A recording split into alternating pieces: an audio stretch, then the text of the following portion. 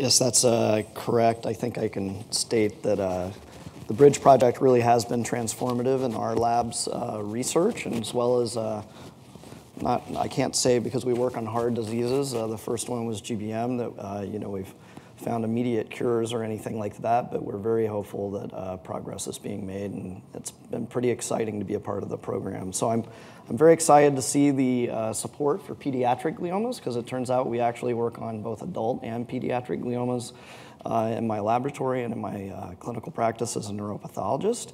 And I think what I'd like to do is, uh, following that great talk uh, uh, by Joran and, uh, and the clinical group, is to kind of go through some of the opportunities that you might have and show a little bit more of the uh, tumors and some of the biology that's associated with them. So uh, you've seen this before from the prior talk, and I think really the main emphasis point is that gliomas are uh, a high percentage of these uh, brain tumors overall, over 60%. And of those, the low grades predominate, but they're uh, both very significant percentages of low and high grade. And for the low grade tumors uh, split out here, you see that there are a number of different tumor types. And I think that's one thing that, uh, if you're new to this area or field, uh, is kind of challenging, is that pathologists have created. I haven't calculated, but some untold tens to 20 different histological subtypes. Uh, and then now the molecular has complicated that even more. So that shouldn't be daunting to you. I think it makes it kind of exciting. There's an underlying biology that leads to that. Uh, but it, it, does mean that you want to be uh, informed as far as exactly what type of tumor and drivers you're going to study in a biological uh, setting. And uh, one sort of overall point is that uh, for the malignant tumors, at least, uh, this really is an important disease to fund and study in that uh, the brain tumors are now one of the more uh, the most common tumor, even compared to leukemia as far as uh, mortality goes. So we're not dealing uh, with a problem that is a light one. and you know, even though there's a lot of patients that do well, there's also a lot of patients that really need very significant amounts of research dedicated towards them. So pilocytic astrocytoma is uh, one of the most common uh, low-grade gliomas. Um, and I just wanted to clarify some of the terminology because it's a little confusing, and that is that uh, we'll interchange terms like glioma or astrocytoma throughout the day. Uh, glioma is kind of a broader term for all the different types of tumors that were thought to have relationship uh, to different uh, glial cells within the brain whereas astrocytoma was thought to be a little more specific uh, towards that astrocytic lineage. Uh, but really, for the purposes of studying these and designing projects, glioma and astrocytoma are equivalent uh, in many ways. About 30% of the patients uh, have this type of tumor uh, within pediatric CNS tumors, and the majority of them have this 3' uh, BRAF duplication event, which activates the BRAF kinase uh, in a slightly different way, as you'll hear from Chuck Stiles later, from the BRAF V600E uh, point mutation. And uh, there are various subtypes, and they have a different pattern of effect, but most of them have this kind of similar biology, which is you have a tumor shown up here, uh, which has more of a solid growth pattern and pushes and compresses portions of the children's brain. So here's a little bit of the cerebellum where they most commonly occur and kind of collapse those regions. So they can intermix with the brain, but they're mostly a solid tumor. And because they're low grade, they have a very uh, low proliferation rate, so uh, that markers like MIB1 uh, have a rate of like less than 5% of cells are actually cycling in those tumors. Um, this is a diagram just to explain a little bit about the morphology and the cytology of those cells.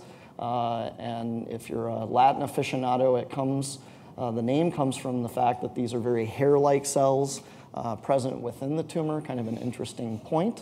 Um, and uh, they have this interesting kind of uh, heterogeneity. So what you're seeing is a region over here of a pilocytic astrocytoma uh, that is very compact and condensed and has more astrocytic features. And then over here you have in the same tumor oligodendroglial-like lineage cells. And so this biphasic appearance is what uh, pathologists uh, sometimes use to identify them histologically. So heterogeneity is a feature of many of the tumors, but particularly astrocytoma. Um, the BRAF duplication event is something that uh, is very useful in identifying these tumors. And so in the past, we didn't have any genomic uh, ways to sort of uh, identify patients and subclassify them. Uh, this was one of the first events that really started off the chain of uh, different genomics that were just described in the last talk. Uh, and this really is critical because uh, it was the first tumor where BRAF was involved, and it was known that MAP kinase signaling uh, was going to be heavily activated in these tumors. It turns out that MAP kinase is one of the dominant pathways for multiple mutation types and many of the low grade tumors that you're going to hear about today. We have a lot of sophisticated ways to diagnose this um, as far as uh, in the clinical realm, and some of them developed here by our group and others was using array CGH even on patient samples, whereby the duplication event is able to be recognized as giving rise to a fusion between BRAF and a gene that has mostly an unknown function, KIAA1549. And so we can routinely identify these patients uh, quite well now uh, going forward. Uh, other genetic events in the low-grade gliomas like pilocytics or other related tumors that are actually druggable and of interest for planning and projects are NTRK2 and FGF receptor 1. Uh, these both have uh, very active drug development programs, and so uh, this is a tumor type where there's a lot of excitement to try and develop trials around these different agents. Uh, BRAF V600E uh, is most relevant to uh, low-grade gliomas with a, what we call a glioneuronal or ganglioglioma type or PXA type uh, histology. And uh, although it was mentioned before, oftentimes this is associated in early stages with a very uh, good prognosis tumor. It has been recognized recently that uh, these tumors can progress. And so these patients, if they acquire CDKN2A loss, for instance, a tumor suppressor gene, uh, their survival starts to uh, go down with transformation into mutant high-grade tumors uh, very significantly. So V600E has a lot of uh, utility as a diagnostic as well as a, a, prognostic marker and a treatment marker in both low and high-grade gliomas. The diffuse astrocytomas uh, uh, here shown as an example of one, uh, which is a WHO grade 2 astrocytoma, a low-grade tumor. we call them diffuse because unlike the pilocytic astrocytoma, what you see is little tumor cells scattered about and invading throughout the brain and the normal structures and surrounding things that are normally supposed to be there, like a neuron shown here in the middle of the image. And so uh, surgically, you can't resect these quite as well, and so it requires more medical treatment, and that's why the targeted therapies are so exciting, is trying to develop agents that can not uh, you know, damage the intervening brain that's uh, present within these tumors. Uh, these low-grade tumors also, again, have very low proliferation rates. Um, this causes some uh, challenges, as we've often encountered in design of studies, and that you have to think about the fact that what you're studying is not growing very fast, and so models and things like this, a little more challenging to develop out of these types of tumors, just because they're very slow growing. High-grade gliomas, uh, DIPG is one that we've studied a lot and had a lot of interest in. Um, and it is, uh, while not common, one of the more high profile, high grade tumors, as was mentioned before. Luckily, it's not very uh, frequent, but it, it, does have this diffuse infiltrative property, as the name might imply. And uh, previously, it was not possible to study very much the tissue or actually native biology of this tumor. That's been a landmark change, which is very helpful for a group like this, which is that uh, clinical trials both in France and, and here, uh, particularly led by Mark Kieran uh, in Boston, has been that uh, we now can routinely and more confidently biopsy these patients while they're alive and study their tumor and try to uh, respond to that uh, as we go forward for individual patients and also to learn from those patients. Um, the pathology is a little variable in this. We talk about grades. The grading in pediatric gliomas does not have the same implications it does in adults. And so uh, it's not quite as important, I would say. Um, but it, and this tumor kind of demonstrates that on biopsy and at early stages of the disease. It can be anywhere from a low grade, grade two, to a grade four. Um, but that doesn't really change the biology. It's just the stages of progression that are ongoing in the tumor with time, uh, as far as we know at this point. Uh, this is an image uh, shown of a, of a brain stem that's been involved by uh, this in a patient. And what you see over here is that uh, the tumor has expanded the normal structure of the pons where these tumors uh, almost exclusively occur. And again, like for that diffuse astrocytoma, uh, you see that uh, the tumor cells in the DIPG are spread throughout and invading structures that are normally there in the brainstem, like a blood vessel. And again, very hard to uh, surgically resect, uh, but now possible to biopsy. Uh, pediatric high-grade gliomas of another types are the uh, anaplastic astro and the GBMs. Uh, these are the two that are most commonly seen, um, and those have, as before, a little bit uh, better survival maybe than the DIPG, but not uh, uniformly so. Uh, they have more overlap, I would say, with the histology of high-grade adult tumors and GBM, if you've seen those and been involved in research with those before uh, and that they have this vascular proliferation, which is an interesting sort of biologic and scientific problem of uh, the interaction tumor with vessels. They have necrosis, which helps define them as a high-grade tumor. And in contrast to the low grade, the proliferation rate is uh, out of sight in these tumors typically, and uh, they have some astrocytic markers that can help to identify them, like GFAP. But the most interesting advance has been in the genetics in these uh, particular tumor types, and this has just been in the last few years. And uh, really, as was said before, it's these histone mutations and their specific flavors and variants that people are trying to figure out right now, how they relate to the disease and the biology. Uh, there is a temporal progression as well as a location progression within the brain uh, for these different uh, mutations, the K27M and the G34R, uh, as well as ACVR1 and other things. And so uh, these are really interesting areas, I think, going forward and how they might interact with more common mutations seen in GBM patients in the adult uh, that we were more familiar with uh, is a really interesting area. Uh, it, it is important uh, that there is commonality between adult and pediatric tumors, even though we focus a lot on the unique mutations uh, PEDS. And this has been a really important thing from a diagnostic standpoint in that you can't assume what the tumor is going to have based on the age of the patient, uh, really much at all. There are uh, many patients over the age of 20 who start, are starting to be recognized to have the histone mutations. And there are many patients under the age of 21, say, who have the IDH mutations, uh, as was mentioned before. And so, uh, really, you have to pay, you really required both do research and clinically work on these patients uh, sort of program and, uh, that enables you to sort of characterize them genomically and know exactly what the disease is a little more precisely than it was before. So I think that's going to cause major advances in uh, the research. It was hindered before because we lumped everything together, and now we have a great deal of progress in that. And, uh, and that's come through uh, infrastructure improvements for pediatric uh, brain tumors all across the country. I just highlight here that at our program, uh, people in the room will have a great benefit in that we've had a lot of activity uh, at all the different hospitals, uh, MGH, Dana-Farber, um, Boston Children's, um, and uh, pediatrics before. And so uh, we've done a lot of work to develop both tissue acquisition and consenting of patients as an infrastructure that's hardwired for our patients into the system. And uh, our neurosurgery teams, uh, like Lily Goumnerova, who I see sitting in the front row, are actively involved in helping us to get those specimens and uh, trying to make sure that patients are able to participate in this research. The pathology teams are activated for this.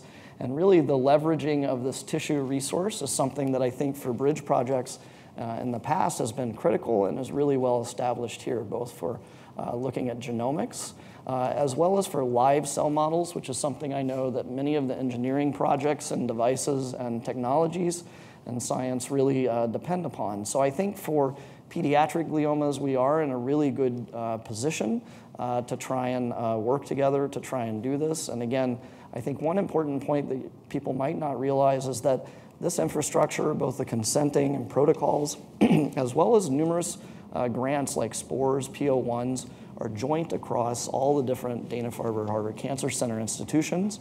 Uh, I know that's not always the case, but uh, we've been, uh, it's a very important disease, and so we've all been collaborating very closely on these uh, different aspects of tumors. Um, and what's the success of that? Well, you know, we, they are a rare disease, so and that makes it really important to capture every patient. And so uh, this just shows some of the statistics from one of our main uh, protocols for consented research, which is really important uh, for this program. and that is that uh, for pediatrics, we have now nearly 1,000 patients who have agreed to participate in research of all different types and kinds, including uh, sequencing, uh, which in the past was not the case, and storage of samples and frozen tissue has really uh, been changing quite a bit and benefiting many of our projects. In addition, this samples and patients are profiled a level uh, sort of automatically in the background.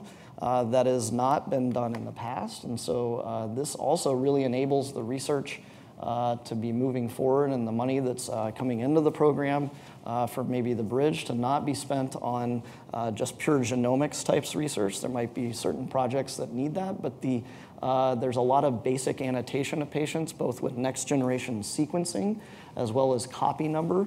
And again, the idea is that every patient sample and every patient uh, has this available to them. So all of these assays are actually now in the clinical laboratory as CLIA tests and able to be used both in uh, basic research as well as clinical trials research, which is really uh, an important advance uh, to go back and forth between those domains.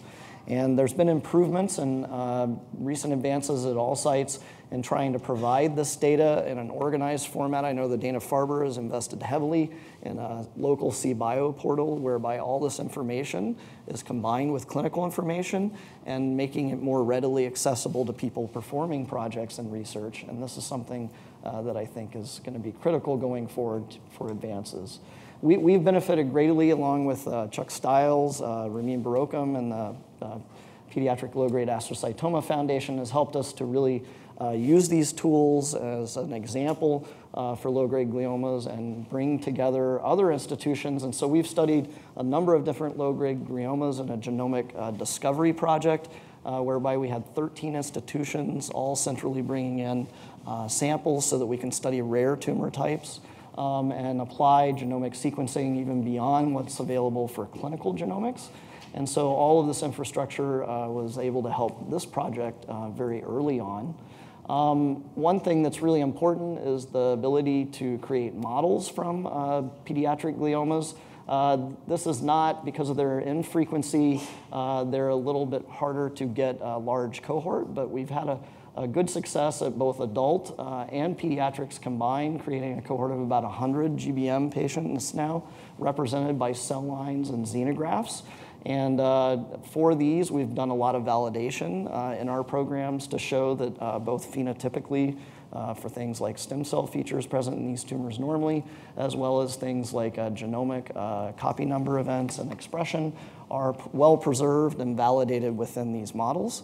and so these are a great platform for people to study, and we're constantly building and and uh, contributing and pooling our resources across the hospitals to try and improve uh, the situation. Whoops. Almost got to the end. Don't send.